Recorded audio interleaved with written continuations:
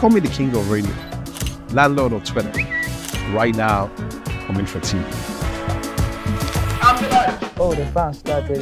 No! Fans are always the Thank you. I will mention names off air. Do you know that's, in, that's a song from us? Hi guys, my name is Osi, your ultimate blog for all things Nigerian music.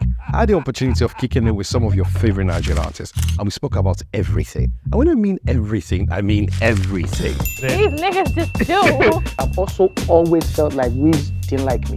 What? What? Korean and I stayed close to each other. Okay. You know, but we didn't even know each, know other. each other out? It's cold out there in the streets. I've been on the streets, man. I know what's going on. So you think I've been on the street? okay, the streets have been on me.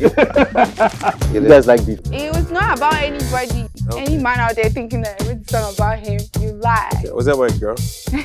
I, I'm curious. Till date, my G.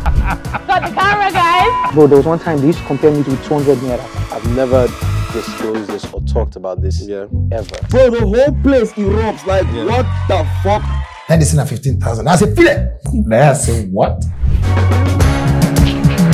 What else do you want the rappers to do? Feature Jesus Christ. We have an amazing show for you guys. Sit back, relax, and listen.